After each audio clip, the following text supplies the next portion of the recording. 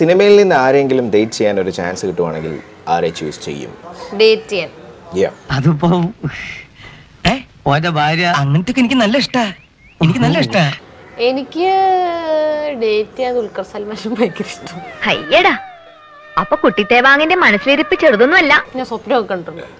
Date ചെയ്യുന്ന എന്താ കണ്ടിട്ടുള്ളത്? ഡേറ്റ് ചെയ്യുന്ന ഒരു സ്വപ്നം ചോദിച്ചത് പ്രേമത്തിലാണ്. അങ്ങനെ ഒരു സ്വപ്നം.